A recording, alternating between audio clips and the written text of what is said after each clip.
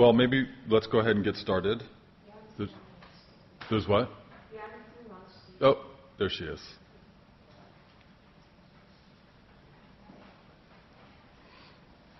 So how how you guys doing?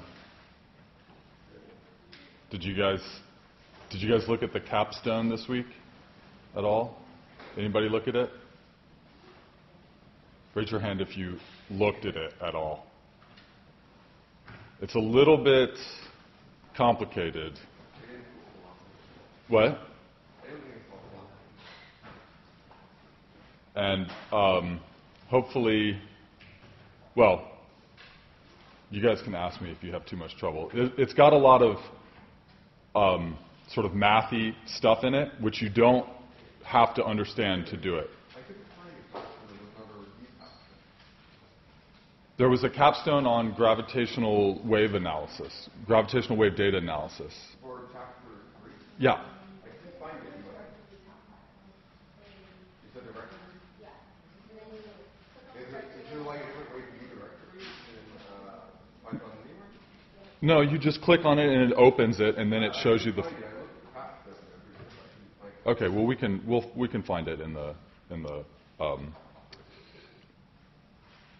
section in the lab section.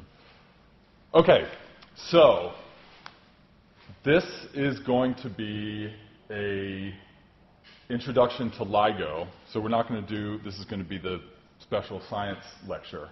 Um, this is pretty exciting to me because this is all the stuff that I work on, and I think it's all really cool, and I think you guys will think it's cool too. Um, so anyway, let me. I'll just go ahead and get right started. Okay, Albert Einstein. I assume everybody knows who Albert Einstein is.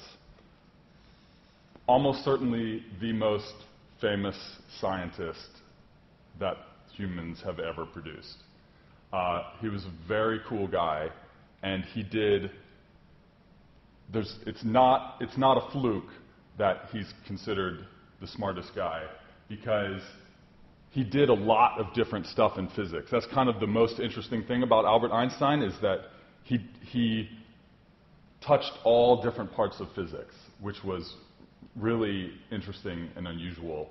I mean, not very many people have ever had this sort of broad and deep influence that he had. I mean, nobody has, period, basically. Um, okay, so his kind of crowning achievement was the general theory of relativity. And so the general theory of relativity was a new theory of gravity. So the previous theory of gravity came from Newton back, you know, hundreds of years ago. And that Newton's theory was, you know, very simple and straightforward, and it was one of the, the first most beautiful physics theories. It was, you know, the, one of the earliest times that, you know, somebody came up with a whole framework, a mathematical framework for describing how things in the universe work. But it wasn't quite, there were some problems with it that are very subtle. I won't get into all of the details. But um, eventually, it was realized that we had, to, we had to tweak this theory for various reasons. And that's where Einstein came in. And there was a lot of people who worked up to all of this stuff before Einstein. But Einstein, this is, this is a complicated thing, equation, but this is the basically, this is the primary equation of Einstein's general theory of relativity. And what it does is it, these, these, these objects here, these big letters with these lowercase Greek letters, these are called tensors. They're a special mathematical object that you'll, uh, it's, it's actually kind of, oh, yeah, sorry. It's kind of the generalization of an array. So you know, you guys have been using NumPy arrays, right? Which is just, I mean, what's an array? It's just a bunch of numbers in a line, right? So you can, what's, what's, that, a line is one dimensional, and what's next is two dimensional, right? So it's a grid. So a grid of numbers is called a matrix. And then the generalization of that is a tensor, basically. And so you can have three dimensions or four dimensions or you know, objects that have n dimensions of numbers. And so That's what this is, and that's what this is. A tensor. Tensor. T E N S O R. And so what this Yes, that's a that because it uses tensors inside of it for doing neural networks. Yeah. So what um, what this Einstein equation does is that it relates this tensor which describes how space-time is curved as a you know as proportional to the mass content of space-time. And so the general theory of relativity says that gravity is actually caused by space itself being curved. And it's curved by there being mass in the space. So that's what this, this video is sort of demonstrating. These, these balls are masses, and when they're in the space, they cause the space-time to kind of like curve and bend and, and um, suck in around the mass. And then, that, and then the, the objects in space kind of follow the space-time, which is curved. Okay, so one interesting thing about the general theory of relativity is that it made this very interesting prediction, which is that gravity should have waves. There should be waves of gravity. And so what this, um, this funny tube is representing is a gravitational wave passing, so it's like a, the wave is, is traveling along the axis of this tube, and these lines, these, these um, uh, you know, ridges on the tube are showing the, how space-time is stretching and compressing as the wave passes. So this is the very particular motion that a gravitational wave produces, is that when it moves through space, it causes the space around it in one direction to shrink, and then in the other direction to expand, and then it oscillates like that as the wave moves through space.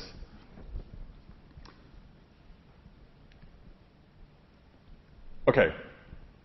So this theory, so Einstein predicted these waves. I mean, so what Einstein did was he, he, this is one of the cool things about how physics works, is that he made that equation, right? He made that mathematical equation to describe how space curves and bends when you have mass in it.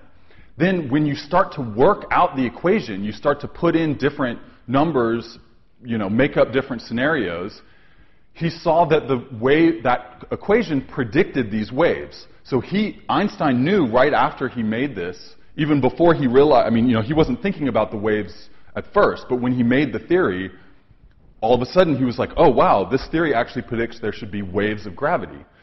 But he didn't think that they would ever be seen because he put in some numbers and it turned out these waves were really, really small. And so, but a, a, you know, many years later, this was in the 70s until the 90s, these guys discovered this, this funny star system. We were looking out in space and we saw what was a, what was a light, basically a light flashing, and it was flashing at a really, really hyper precise rate. Okay? And then they, they started to predict, well, what would make this star do this? And it turns out that it's what's called a, um, a pulsar. So it's a kind of a star that's really super dense, and for reasons that are too complicated to get into, it's shooting these jets of, of radio waves out on either side. And then, the, since the light is spinning, the, the, the star is spinning around, it's basically like a lighthouse. It's basically exactly like a lighthouse. It's sweeping, these beams are sweeping through space, right? And so what happened is, what's happening is we're standing on Earth, and this lighthouse star is spinning around, sweeping these radio waves. And so every time one of those radio waves passes by us, we see this flash. It's really exactly like a lighthouse, right? You can, you can count, you know, if you look at a lighthouse far away, you just see flashes of light that are at a very regular interval as the beam passes in front of you. And so that's what these guys were doing. And so they started to keep very precise measurement on when these flashes were coming. But then they noticed something really interesting, which is that the flashes weren't coming at an exactly regular interval. The interval was, was modulating. So it would, it would come, the, the gap between the flashes would be a little bit shorter in one second, and then a little bit longer, and then a little bit shorter and a little bit longer. And so what they realized is that the reason that was happening was because the pulsar was orbiting around another star. So there were two stars orbiting around each other, and one of them was the pulsar. And so that orbit was causing that flash from the beam to be modulated. It would come at slightly different times. And so then they started tracking that over many, many years, starting in 1975. And what they showed was that the orbital, the, the orbital period of these two stars was actually getting less and less and less and less. So they were orbiting around each other faster and they were getting closer together. And they can tell this just by looking at the time interval of the flashes. That's really cool. And so what they realized was that the reason that was happening was because these two stars were emitting gravitational waves. And the waves, waves are a form of energy. And so that energy, the waves that were being emitted were taking energy away from the system. We're like putting energy out far away. And then that was causing the energy of the star system, you know, they're orbiting around each other, and as they lose energy, they get closer and closer together. And so they, they, they tracked this over time, and it perfectly matched with Einstein's prediction about gravitational waves. And so this was a totally beautiful, this is like one of the most beautiful physics things, in my opinion, and they won a Nobel Prize for it. It was really great because they not only did they discover these pulsars with these beams and these neutron stars orbiting around each other, but it's also emitting gravitational waves, and it perfectly matches Einstein's general theory of relativity. Really, really awesome stuff. All right, but that was so that was in the 90s, and that was sort of indirect proof that these gravitational waves exist. Because we don't actually see the waves from that system, we just see the effect that it has on the orbit. So then, then in the 60s, this was before, this was before that result, this guy tried to actually measure the waves directly. He tried to make a device that would actually, you know, respond when the wave hit it. And so that's what this thing is. So this is called a resonant mass detector or a bar detector. And it's just a giant chunk of metal and with the, all of these sensors wrapped around it. And so what he's trying to do is that when a, what, what he thinks is going to happen is that when a gravitational wave hits that bar, it will ring like a bell, right? Like just like you flicked a bell. And it'll ring, and then all of these sensors, but it'll be a really tiny, faint ring, and then these sensors will pick up that ringing, and he'll be able to measure it. And it was very cool idea, um, but he never detected anything. And unfortunately, he claimed he detected something, but then nobody else could detect anything using the same kind of device. So that was a little bit unfortunate. Um, but so he, he had some uh, credibility problems later in his career.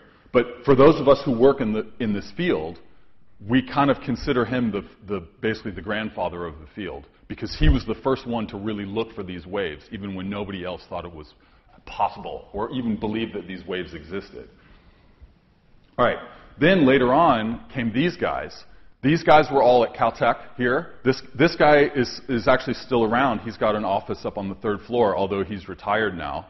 And uh, this guy unfortunately passed away um, last year, and, and this guy's still around too. And this was, this was actually my professor at MIT. He, he's, he's a really, really cool guy. And so these guys had the idea, they, they picked up on this, and they were like, how can we improve on this experiment? How can we do it better? And so they came up with a new, totally new idea about how to detect gravitational waves. I, I want to put down the shade. Do you know how to put these shades down?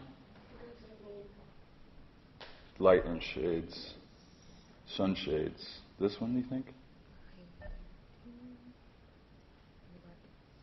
No, that's the lights.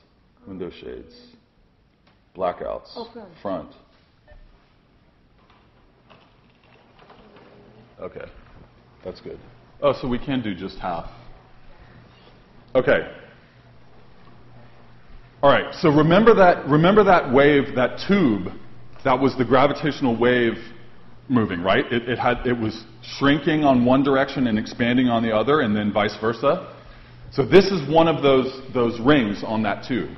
And it's doing that, it's doing that motion, right? So in this case, the wave is coming out of the screen towards you, and it's causing the, that tube to bend like that.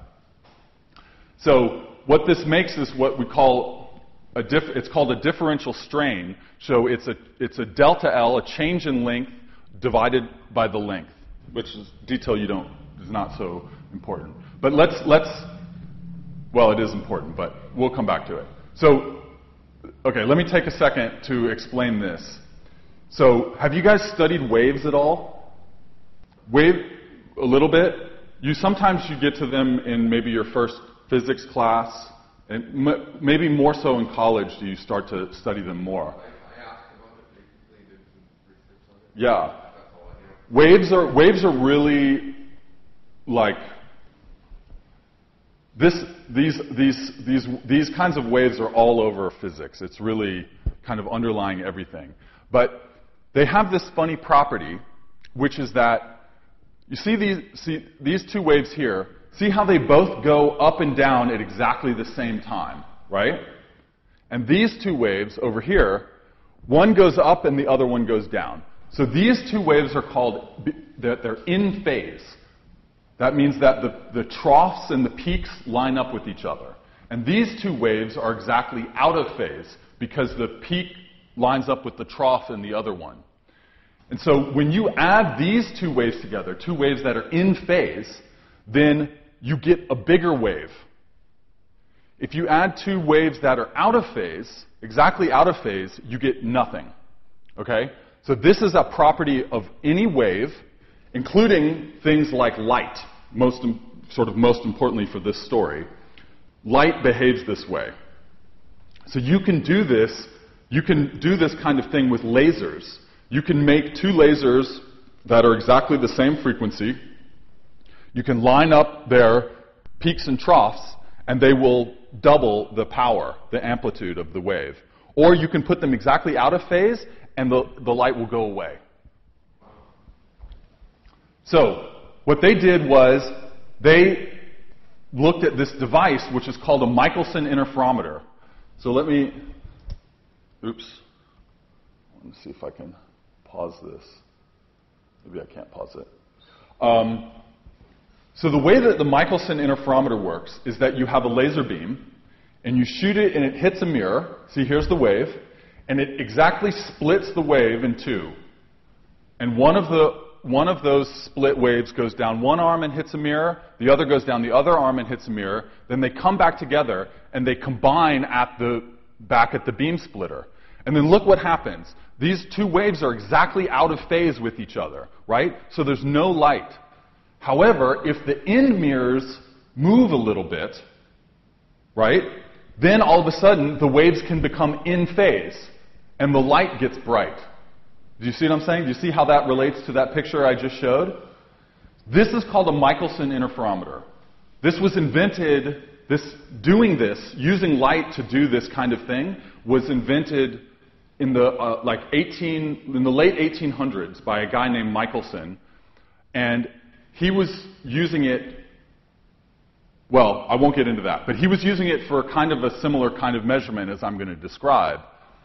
But the point is, is that with this device, what is, what's the trick about this device? The trick is that when these end mirrors move, you get light, you, you get a change in the light here, right? So what happens is that this device is really, really good at measuring the relative length of these two arms, right? So you have these two mirrors at the end, and if one of the mirrors moves a tiny bit, then you get some light coming out. So what this device can do is really hyper precisely measure how far these two mirrors are from this beam splitter. Okay. Now, what does that matter? Look at this. Let's just put this device in the middle of the tube.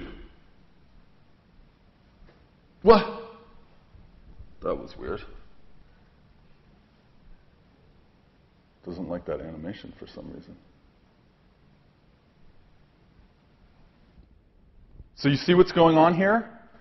So this, this, this thing in the middle is just that Michelson interferometer from the previous animation, just put on its side so you're looking at it straight from above. And this is the, the ring from the tube. And what's happening? The ring is moving because the gravitational wave is passing through.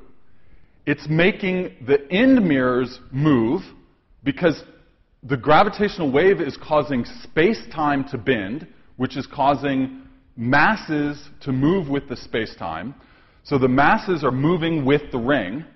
When they move, they cause the arms of the Michelson interferometer to shrink and expand, which causes light to come out. So, in principle, we can use a Michelson interferometer to directly measure a gravitational wave passing by. So, this was like, this was the massive, this was the big insight that these guys had. And so they both tried to make experiments to do this. They tried to make Michelson interferometers whose job it was was to detect gravitational waves. And th- that guy, Rainer Weiss, did it at MIT, and these other guys did it here at Caltech. And then they went to the NSF and they said, give us money so that we can make a really big one, because the ones we're making are not sensitive enough. Man, my, what is happening here? Not liking that animation.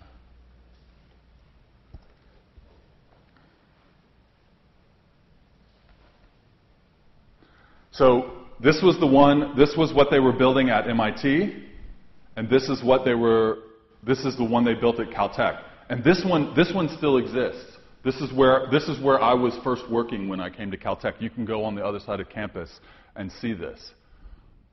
If you guys are interested, actually, I'd be happy to give you a tour. We can talk to uh, Christine about that. Um, so these are pretty small. These fit in a room. But these aren't big enough to really detect gravitational waves, because as we'll see later, gravitational waves are really weak. They're really small. They, the, the amount of that they move things is, will, is really, really small. It'll blow your minds. And these things are not big enough to detect them. So what they did is they got money to make this simple Michelson much more complicated. And so after basically decades of research, they figured out how to make the interferometer much more sensitive. And I won't go into all of the things, but basically you can see that the laser beam is bouncing around more, there's more mirrors. They, they figured out ways to basically amplify the signals. And this was a whole progression of research over the years. Until they made these giant interferometers. Giant. So this is this the, this arm length here is two and a half miles long.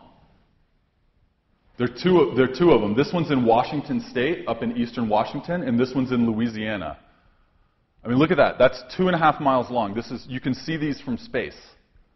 And this, so this is a big building here in the middle, and in the middle here is where the laser is, where the beam splitter is, and where the detector of the light is the thing that detects the light when there's a tiny change of the length of the arms.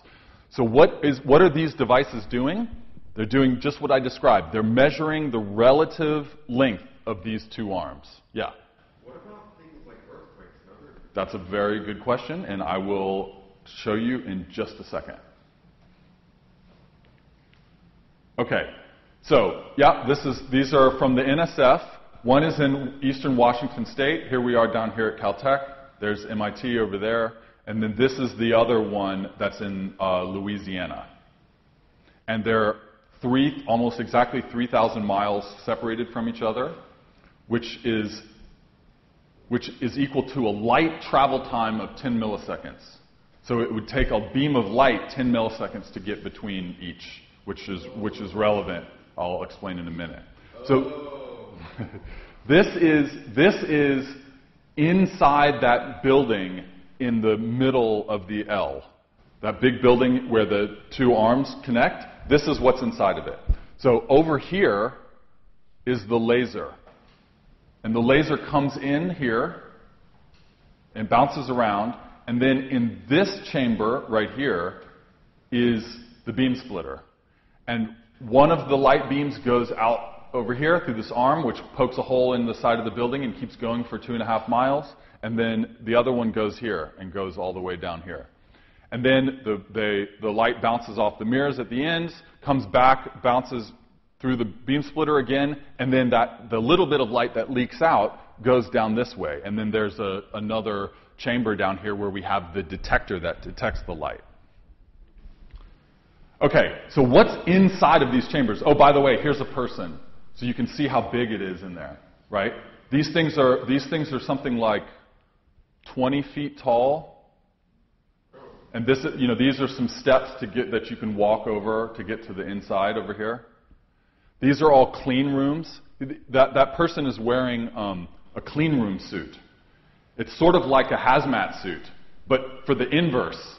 Because we're not, we're not worried about any of the stuff in here hurting humans. What we're worried about is the humans infecting the experiment. Because it's such a precision experiment, we have to keep all of the human dirt and sweat and stuff out of it. So we have to wear special clothes, clothes to contain our dirt when we go inside this room. Okay, so what's in these chambers is the solution to the problem that you mentioned, which is that this interferometer is built on the ground. And it needs to be very, very sensitive because, like I said, the gravitational waves are really, really weak. So we're looking for just a tiny motion of the mirrors. And so, in order to protect the mirrors from the ground, you know, the interferometer sits on the ground, so, and the ground moves a lot. You don't really feel that the ground is moving that much, but it actually moves quite a bit. It's always shaking, right? There are cars driving by on the road, they cause the ground to shake. There's earthquakes all over the place. Um, there's uh, the, the what, an interesting noise is that all of the waves crashing on the ocean shore that actually causes the ground to move quite a bit, even in the inside of the country. I mean, we're close to the shore here, but even if you go into the middle of the country, there's, the ground is still moving because of all the waves crashing on the shore. And so, this, what this is, it's kind of hard to see here because this is like a CAD, a, a, a, a computer drawing that's kind of split in half. But this, this down here is the mirror. Okay? And this is supposed to be the laser beam. And this mirror is hanging from another mirror, another mass, which is hanging from another mass, which is hanging from another mass, which is hanging from another mass. And then this is a big table. This is a big, like, seismic, you know, um, table that can move around. And then the, it's sitting on top of these pillars, this, these tubes, which are on top of these pillars, which sit on the ground.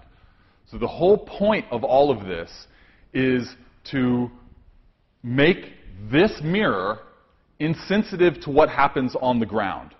So what this whole system, what it does is that when the ground moves, this mirror doesn't move. It moves just a tiny, tiny bit. This, all of this stuff is to keep the mirror from moving when the ground moves. And here's an example of the actual thing being put together at uh, one of the sites. So it's a big metal, this, is this big metal table is this part up here. And this is, the, this is a, another drawing of what the mirrors look like.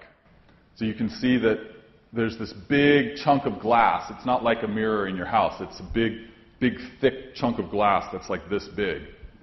And it's got these tiny little fibers that hold it up. And this is what it looks like installed. So up here at the top, that's this thing. Right? That's up here. Then this whole thing down here, that's, that's this, which hangs from the bottom of that down here. So we're kind of looking up at it. And this is the main mirror. And yeah, okay, I'll show some more pictures of that in a minute. This is the laser. So this is inside this special clean. This is an extra, extra, extra clean room where the laser is. because the laser is really, really powerful, and any dirt that gets inside the path of the laser will will eva- will like explode, not explode, but will you know basically disintegrate and cause there to be this dirty gas. And we can't if if the if dirt gets on any of these mirrors and it gets hit by the laser, it'll burn the mirror and it'll ruin the mirror because we use such a large amount of laser power. This is inside one of the chambers. This is where the detector is, where we measure the little bit of light. So I think that the laser beam would actually come in from this direction, and it would bounce around in some of these mirrors, and then it would get detected by the detector which sits on this thing right here. This is like another cage with another thing hanging down from it. It's, again, it's all to um, reduce the seismic vibrations. And this is, a, I really like this picture a lot because you can see a lot of stuff. So this, here's the mirror there, right, with the cage that goes up hanging from that big thing at the top. People, obviously. See, in these like hazmat looking suits, but it's not to protect them. This has, these suits are not for the safety of the people. They're for the, they're for the instrument. They're for, to keep this all super, super clean in here. Oh, I, I guess I should have mentioned that this, all of this metal tubing is a vacuum system.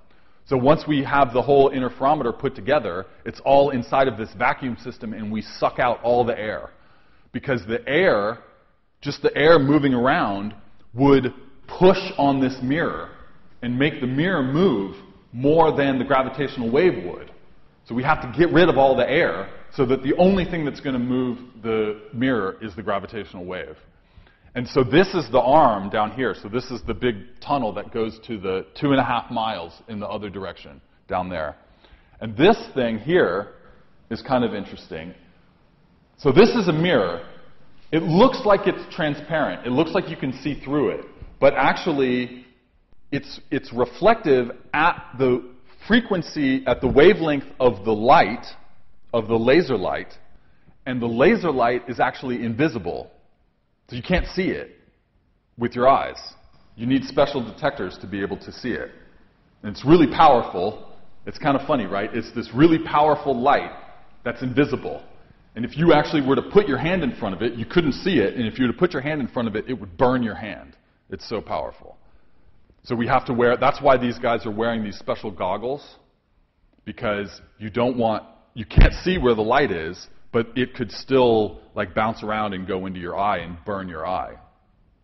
There's no light, there's no, none of, there's none of the actual laser light going in right now. That only, we only turn on the laser light to go into the interferometer when the vacuum system's all closed up and there are no people inside. But these guys are in here because they're trying to fix something.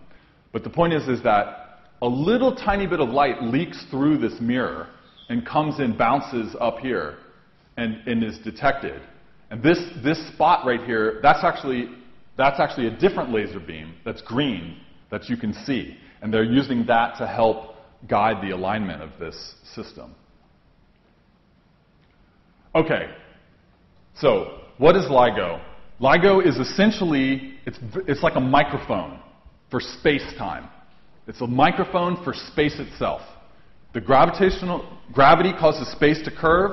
The gravitational waves are waves of curved gravity, of curved space, and LIGO is just a microphone that's picking up these, these, these, this motion, these waves. So, this, I wonder. Who knows? Maybe we'll hear in a second. Um, this is this is a kind of a complicated graph. So I, I mean, I, I'm not, I don't expect you guys to understand this, but have you ever, um, have you guys ever looked at sound files on your computer? Have you ever, okay, how about um, you have like a stereo system and it has, you know, these bars that go up and down with the music? What those bars are representing is different frequencies. Okay? And frequencies are like low frequency and high frequency. Like it's the different pitch of the sound. Right? So low frequency means that the, that the wave is, is longer wave, and high frequency means that it's, it's, a, it's a shorter, faster wave. And so what this plot is, is it's kind of like a really high resolution version of that, of those bars that move up and down with the music. And so what's on this axis here is frequency. And so this is low frequency down here, and this is high frequency up here. And, the, and this axis is amplitude. And so what this is actually showing is how much the mirrors are moving, the two in mirrors, how much they're moving relative to each other, because remember that's what the Michelson interferometer is measuring. The Michelson interferometer is measuring how much this mirror is moving relative to this one in this, in this way. One gets closer and the other gets farther away, because that's what the gravitational wave's doing.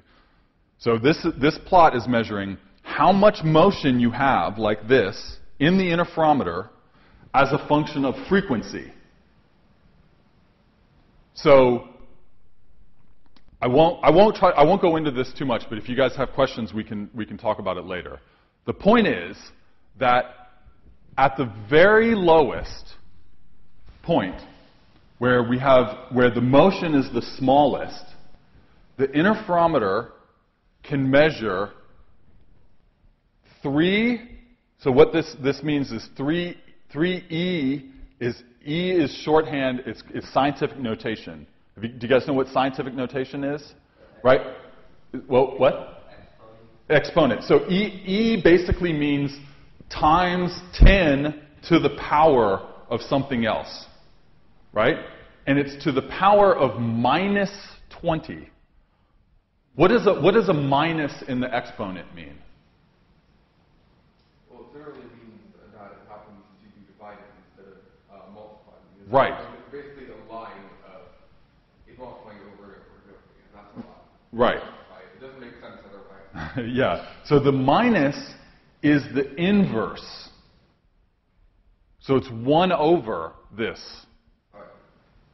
So this is 3. So what's 3 E3 meters?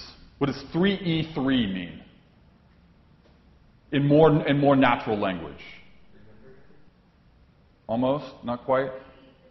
3E3. Exactly. And what's 10 to the power of 3 equal?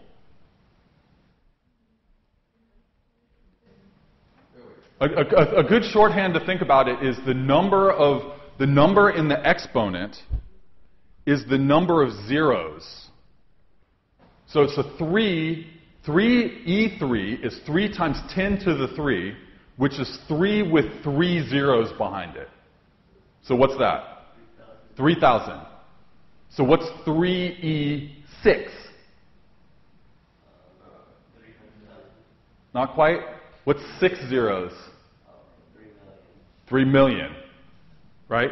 So 3e6 meters is 3 million meters. What is 3e minus 6? Right, it'd be 1 over 3 million. 1 divided by 3 million. What is, so 1, so 1e minus 3 is a millimeter, right? That's, that's 1e minus 3 is a millimeter. 1e minus 6 is a micron. So you can see a millimeter, right? A millimeter is, is the smallest tick on a, on a meter stick. A micron is you take a millimeter and you divide it up a thousand times. So it's really small. A micron is like the size of your hair. What about a micrometer? That's a micrometer. A, micro, a micron is the, and, a micrometer are the same thing. I'm pretty sure it's a lot smaller. No, a micron, a micron and a micrometer are both 1e minus 6. Then there's, A lot smaller than a hair. well, there's 1e minus 9, I was thinking of nanometers. Which is a nanometer. And a nanometer is a hair divided a thousand times. So it's that even smaller. A nanometer is the size of those chips in a CPU, and like CPU, the giant thing is like this size. I think. Right. And it was like billions or something ridiculous. How, do you guys know how big the size of an atom is? Not very many, not very large. I think it's like a Smaller than that. A- an atom is actually 1e minus 10. It's less than a nanometer. It's, one, it's 10 times smaller than a nanometer is the size of an atom, like a hydrogen atom. It's close. It's, but it's, yeah. So an atom is 1e minus 10. How about the nucleus of an atom? The, you know, atom, an atom is a nucleus, which is like protons and neutrons with electrons orbiting around it, right? So that's the whole, the whole thing, the whole atom is the nucleus, the electrons and the, the neutrons and the protons in the middle, with the electrons zooming around. And that's 1e minus 10. The nucleus is 1e minus 15. So 1e minus 15 is the nucleus of an atom. What is this number? This is 1e minus 20. That's 5 times 10 to the 5 times smaller than the nucleus of an atom. That's what this interferometer that I just showed you is measuring. It's measuring distance length changes of the two arms. 10 to the what is 10 to the 6 was a million. 10 to the 5 is 10,000. So 1e minus 20 is 10,000 times smaller than the nucleus of an atom. If that doesn't make your head explode, then nothing will ever make your head explode. That's, this is like, I've been working on this project for my, basically my entire adult life. And every time I think about this, it blows my mind. It is, it, it is incredible. This is the most precise measurement device that humans have basically have ever made. This is an atom. Okay? 10 to the minus 10. This is the nucleus. We're zooming in. That little blue dot, that's 10 to the minus 15. Up to the edge of the nucleus.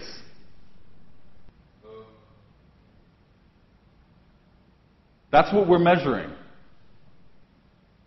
This tiny, tiny, tiny shift. Okay.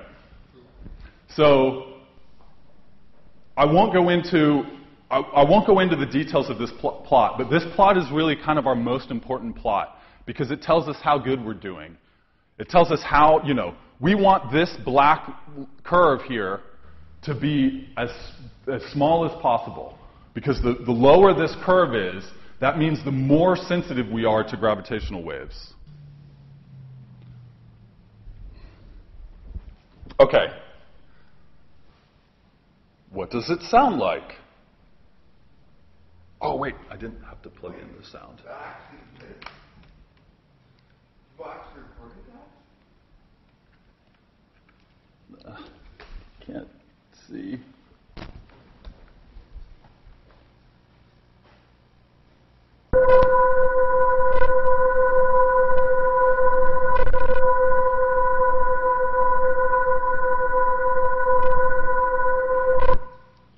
Okay. What I said was LIGO is a microphone. And I'm, I'm kind of not kidding. LIGO is almost like it's, it's a microphone for space time.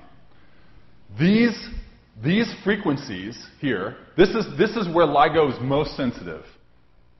These frequencies, do you, do you guys know what the frequencies are that we hear? It doesn't matter. These frequencies are the frequencies that we hear. It's with our ears. That's, this is totally coincidental.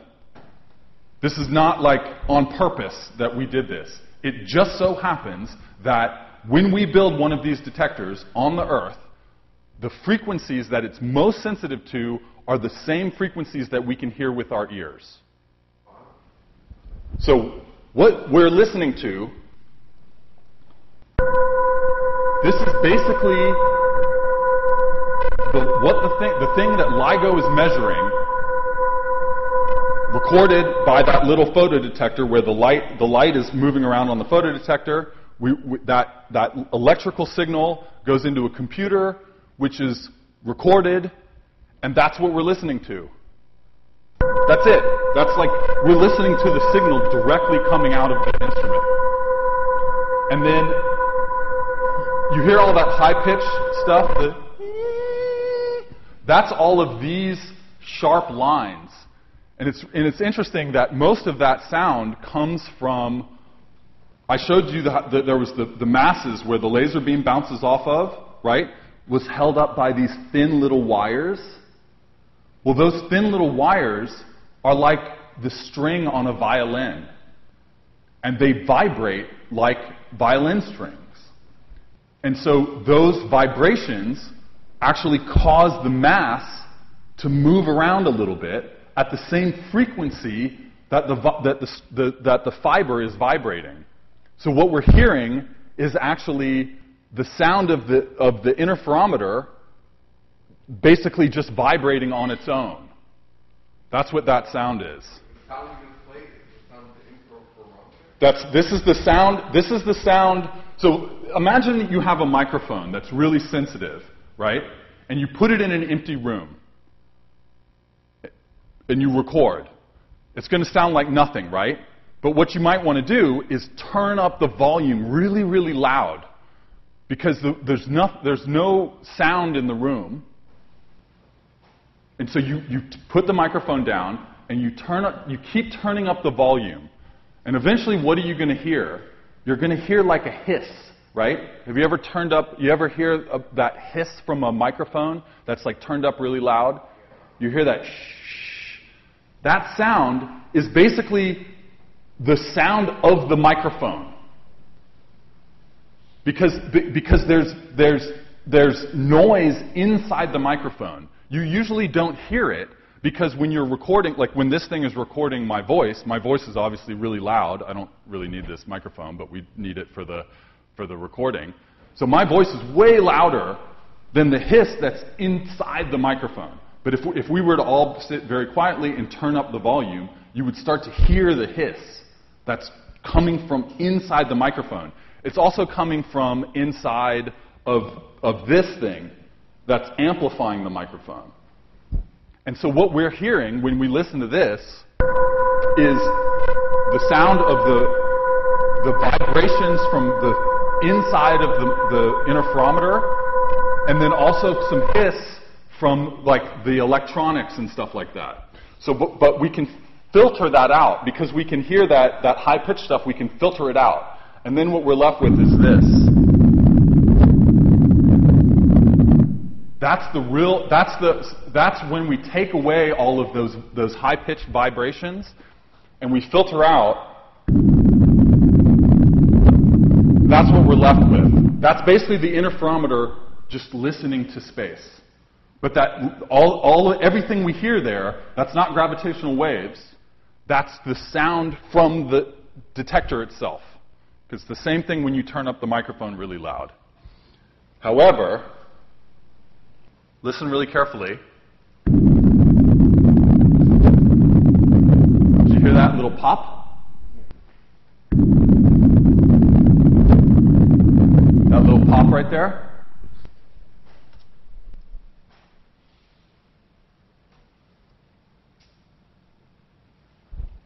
All right. I just talked about the technology of the interferometer itself, right? But what are we trying to what are we trying to detect? We're trying to detect gravitational waves. Where do gravitational waves come from? Well, I showed one example earlier, which was those, those two stars that were orbiting around each other, right? Where one of them was a pulsar. Those things are emitting gravitational waves. What else emits gravitational waves? These are, this is a simulation, this is a computer simulation of two black holes that are orbiting around each other. And they're, they're, they're orbiting around each other in front of a field of stars in the background. And all of this crazy stuff you're seeing here is the space time around the black holes being warped by the fact that the black holes are there. Remember, the black holes are mass. Einstein's general theory of relativity says the mass is going to cause space time to curve. And so what's happening here is that all the space time is curving as the black holes move around each other. And it's curving in this crazy way, and it's causing all the light behind it to get bent and warped. But these black holes are orbiting around each other. They're getting faster and faster. And then at the very end, they all of a sudden get really close, and then boom, they, they like suck together, and then they become one big black hole. Here's another, here's another computer simulation where you have two, two black holes. One's a little bit bigger than the other one. And these, this swirly pattern, that's the waves of gravity that are moving away from it as they get closer together. And it, the, the pattern is changing as the waves are getting bigger and bigger. Right? The waves are getting bigger, faster, faster as the two black holes, bam! And then right at the end, when the two black holes finally merge together, there's this big burst of gravitational waves. Let's look at that one more, one more time because this one's really cool. So it's so you can see it's like at, at the beginning the waves are low, and then they start to get bigger and bigger. It's cut out in the middle because it's too hard to do the calculation there. But it, they're getting bigger, bigger, bigger, and then right at the end, when they are spinning around really fast, then bam, there's this big burst of waves. Yeah? That's the pop. That's exactly what it is.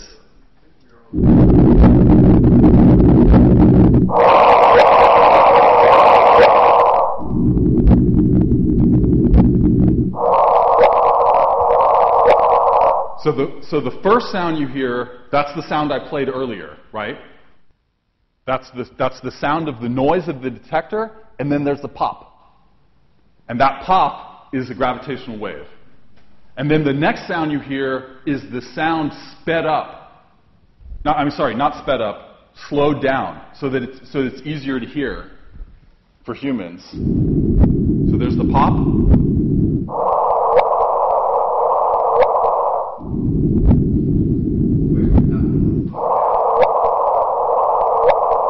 Yeah, because when it's full speed, it, it goes really fast. It's just a whoop. You don't hear the structure. But when you slow it down, all of a sudden you hear this whoop, whoop, right? That's that. Look, like, look at what the, what's happening to the waves, right? They're low, and then all of a sudden they get closer together and, and louder. And that makes a chirp. A whoop. And that's the gravitational wave signal.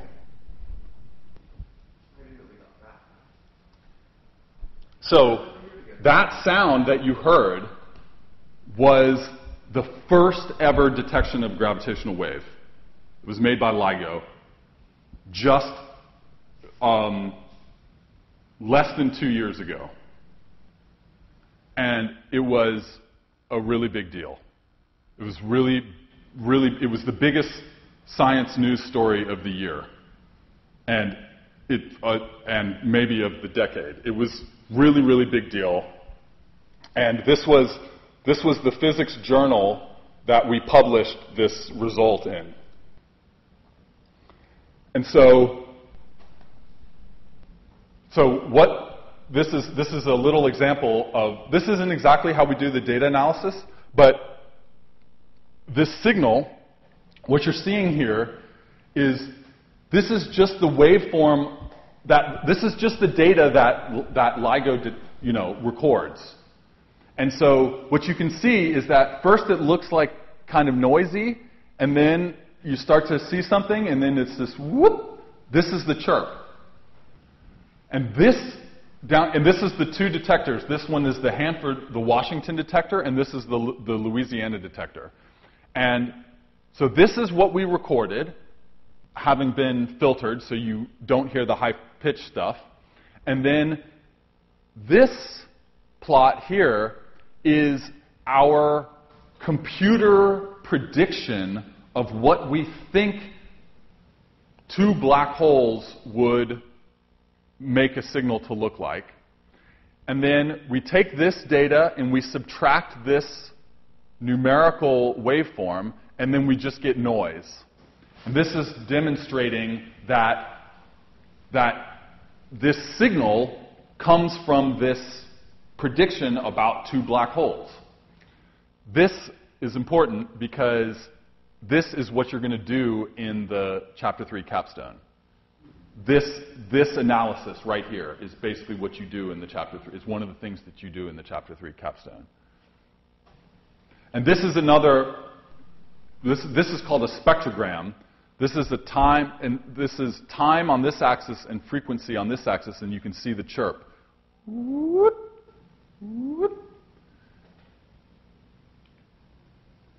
So this is, this is again another simulation of, this is of a different event though. So the ones that, the ones that I showed before, those are simulations of the first gravitational wave we detected.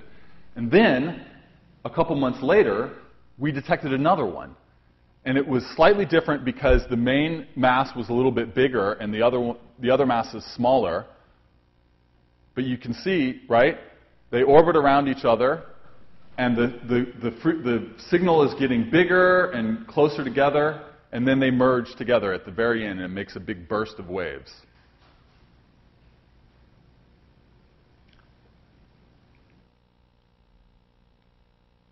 This I won't go into. This is a little bit complicated, but this is the this is the real plot. That this is what we use. This is what we show to the other physicists to say, look, we're really sure we detected something. And um, I can explain it to you guys if you're curious later, but um, this is the this is kind of the real real thing that we we show to the other physicists as, as our proof. Okay, so there's a lot of stuff we can, we can figure out from this gravitational wave signal. So one is that we can figure, we know, we can tell how far away it came from by, by knowing the amplitude of the signal. And this collision came from 1.3 billion light years away which is really far away. It's actually one tenth of the distance to the edge of the universe. So it's really far away the signal came from. These two black holes, the, one of them was originally 36 times the mass of the sun. This is this this M with the circle and dot next to it is called a solar mass. That means the mass of the sun. So one of the black holes was 36 times the mass of the sun. The other was 29 times the black mass of the sun. But the, the black hole at the end was 62 times the mass of the sun. And if you do the math, you'll see that 36 plus 29 is equal to 65. But the mass at the end was 62. So what happened was that the gravitational waves themselves had energy that was three times the mass of the sun. So the, I, I guess I should mention that I'm talking about energy in terms of mass, because this was another this was another thing that Einstein said was that E equals mc squared, right? Energy and mass can be converted back and forth. So the mass from these black holes got converted into waves. Waves of gravitational energy, gravitational wave energy. And then this one is interesting. And basically, these two black holes, when they collided, you can't see the gravitational waves. You can only hear them with the gravitational wave detectors like LIGO. But the amount of energy that was released by these black holes colliding was the brightest thing in the universe for a short period of time. It was the loudest thing in the whole universe. So this is a, just a plot of, the, of all of the black holes that we now know about. So these are, these are black holes that we already knew about by looking at X-rays. The astronomers can, can sometimes tell that there's a black hole somewhere because the things falling into the black hole emit X-rays. So if they see these special kind of X-rays, then they can tell that there's a black hole there. And then these are the black holes we detected with LIGO. So what's interesting, these black holes we detect with LIGO are quite a bit bigger than these ones that we've seen with X-rays. So that's kind of interesting. We can tell a little bit about where these black holes were in the sky, but not too much because LIGO LIGO is a microphone, but it's not a good directional microphone, right? So if you just have one ear, it's kind of hard to hear where a sound is coming from. If you have two ears, you can tell a little bit better. So we have two detectors, so we can tell a little bit where the sound is coming from, but we can't pinpoint it. And so these are the blobs on the sky about where we think the gravitational wave came from. So this is the first one we detected here. And so we can say basically it's coming from somewhere over there. It's not coming from over there, it's coming from somewhere over there. But why do we care where the gravitational waves came from? Where in the sky? Because this is what a black hole merger looks like to your eyes. It's supposed to be a joke. Because they're black holes, they don't emit any light, there's nothing to see. However, there are some things that emit gravitational waves that we can see. Oh man, what is going on? Didn't used to do this. Doesn't like some of my animations all of a sudden. maybe, maybe it'll crash again. But if you have two neutron stars, like those things that I showed earlier with the pulsars, if you have two of those orbiting around each other and they collide, they make a huge burst of light. Really, really bright. And they, they make what are called gamma ray bursts. And sometimes stars explode. You guys have heard of supernovas? A supernova is when a star explodes.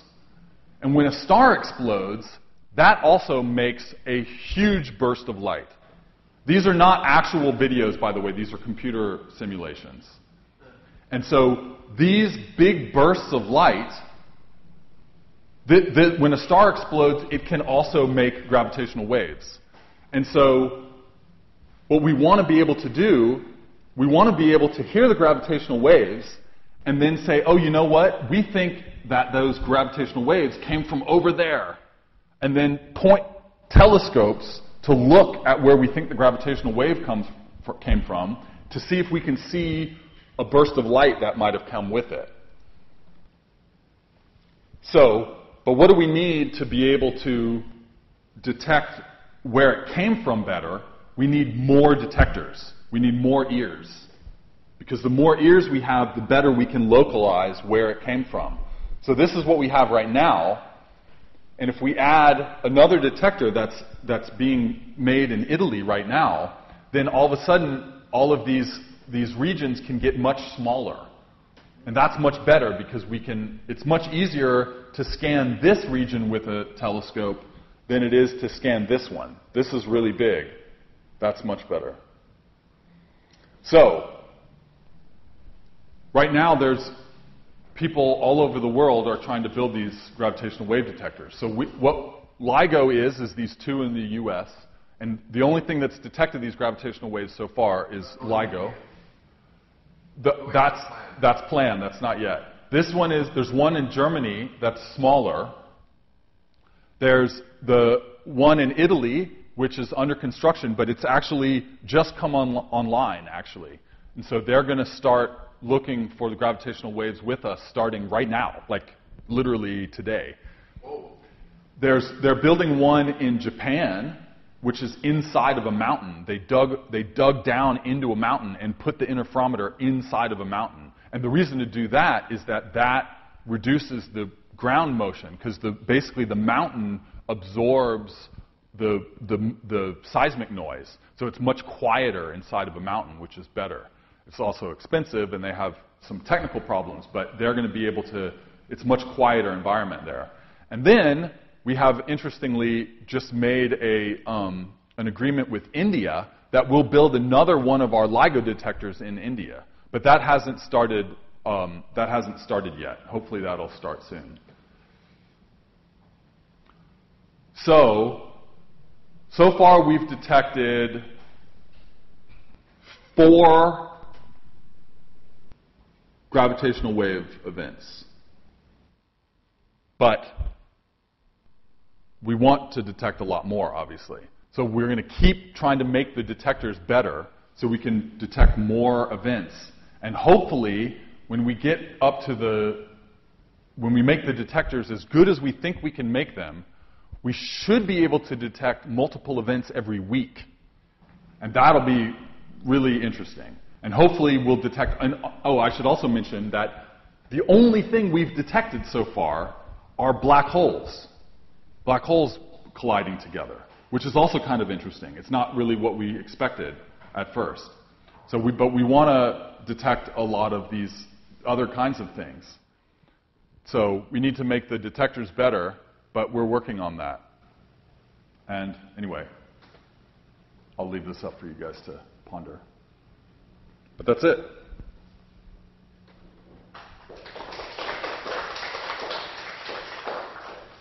Um, it's a little bit late, and, and we were going to, I mean, we'll take a break soon and start the lab. But do you guys have, if you guys have any questions, I'm happy to answer any questions.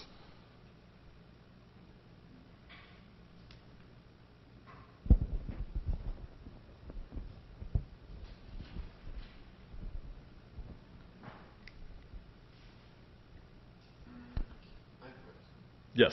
Shouldn't there be a lot of noise and a lot of different gravitational waves in the? Um, that that's a that is a very good question. Actually, the you, in in principle, yes, but the the what we call that a gravitational wave background, right? A background like there's a bunch of things. If you have a lot of stuff that's orbiting around each other, emitting gravitational waves, then there should be this background noise of gravitational waves. However, we don't think that there, there's not enough of that. That noise is, uh, basically, the way I would say it is that that noise is not loud enough that we hear it with LIGO. That noise should exist, but it's not loud enough that we can hear it with LIGO. Wow. Um, well, you're, you said you're like, um, uh, it's like a microphone and you get like, um, gravitational waves. How do you know which one it is? Like, How do you know? Like a lot of sounds around it. and Yes. How do you know exactly which one it is? How do you know that you're that what you the sound that you heard is a gravitational wave? So that is basically um, that's basically the pl- the plot that I showed that I said was complicated. But what we do, I'll give I'll try to briefly describe. So we listen to all we, we basically record all this data, and it's all noise. It basically all just sounds like that, that thing that I played you noise. And so we're basically trying to listen for like a pin drop in this noise. So one thing that helps us is that we know what the sound should sound like. We, we know what the sound of a dropping of a pin sounds like. We, we have these computer simulations of two black holes doing that dance that I showed you, right? And we know what those signals look like. That's what that's what this is, right? This is like a computer drawing what the way, what the what the sound will be. So since we know exactly what sound we're listening for, that makes it a little bit easier. Okay? Then the other thing we do is we we, we, we take this data and we look for these exact sounds, right? We can do that by, it's actually in your capstone. That's what the capstone is doing, is, is doing this, is basically taking one of those computer generated waveforms and turning it into a filter, which you can then slide along the data, it's like it's like looking, you know, you're going along looking, do you see does the data look like this exactly like this thing that we, we think that the sound should look like? And you go through that and you look in all the data for all of you have these signals. And then the other trick is that we have two detectors, right? So every now and then, the noise might just look like that signal a little bit. But since we have two detectors, and the gravitational wave is going to hit both of the detectors at roughly the same time, then we have to look for these two signals in the two data streams from the two detectors. They have to happen at the same time. So that's, that's another important thing that we have to we look for. We look for the same sound in both detectors at the same time.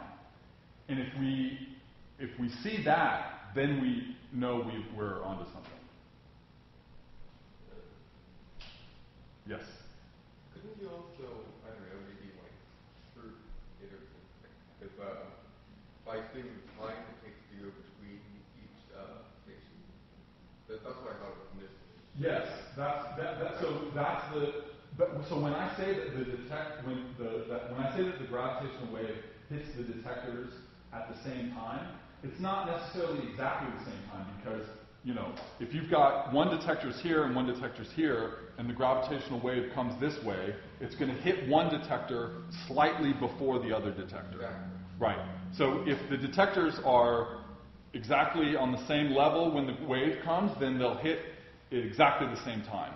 If the wave is coming from up here, it, and you know along the line of the detectors, then it's going to hit one detector first and then the other detector later. That time difference between the detectors is 10 milliseconds. Right? Remember what I showed earlier? Because the gravitational wave travels at the speed of light, so the time that it takes the gravitational wave to get from one detector to the other detector, at the longest time it could take is 10 milliseconds. So we know that the, the signals that we're looking for have to be in the two data streams within 10 milliseconds of each other. So that helps us constrain where, how we're looking for things. Uh, like a So. Well, it's 3,000 kilometers. It's a long, it's a long way to go. But yeah, 10 so yeah, that's like a human distance. I can't believe light takes a measurable amount of time. Human. Well, you know, think about light takes eight minutes to come from the sun. Yes. Yes. So you say how it's like two stars kind of colliding with Mhm. each other. How does, at, even at the beginning, do they like become attracted to each other? Is it like they're just floating in the Yeah, space that's a- and then that's a- somehow this energy? That's another great question. The, the, what we, the, way- the way that we call that is what's the formation mechanism? How do, these binary systems where you have two stars orbiting around each other, how does that form? How does that come about that there are two stars that are orbiting around each other? And there's lots of theories about that. So one is that they could have just been born that way, right? Like, look at our solar system. Our whole solar system with the sun and all the planets, that was all born at the same time, right? The, all the planets in the solar system are the same stuff that made up the sun, right? And look, look what we have in our solar system. We've got Jupiter. Jupiter's a really big planet, right? It's not quite as big as a star, but it's pretty big. And you can imagine if you had another solar system that you made, that you could sort of accidentally make, you know, the, the, the other equivalent of Jupiter in that solar system could have been big enough to be its own star, right? And so then they would be born, the two stars would be born at the same time orbiting around each other. But then it's also possible that, you know, in the galaxy, stars are just swirling around each other, swirling around the center of the galaxy, and it's possible that two stars could just sort of like fly by each other and then get caught together. They, they just basically, you know, stick together as they flew by each other.